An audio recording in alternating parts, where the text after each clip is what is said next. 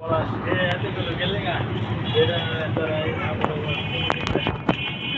আলাইকুম এটা আমাদের নদী ইসামতি ঠিক আছে এটা ইসামতি নদী। খুবই সৌন্দর্য।